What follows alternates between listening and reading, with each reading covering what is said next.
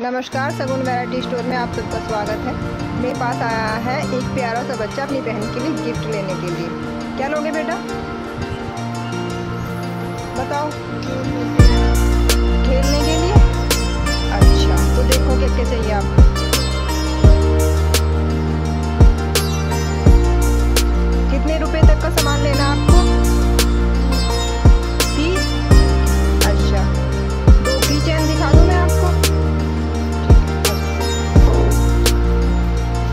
बोले तो आप इस खड़े हो मैं आपको दिखाती हूँ